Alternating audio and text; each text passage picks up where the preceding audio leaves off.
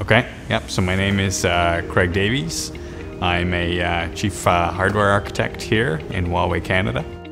Well, it's actually quite a cool job. Um, so for me, being a tech geek, I get to uh, work on a lot of challenging things and do a lot of uh, kind of major output work, which would be challenging in other companies. You know, for, for us, the research we do here, we do that with academic partners. So for example, in our team, we work with the University of Toronto. And for me, that, you know, it's great to have that access.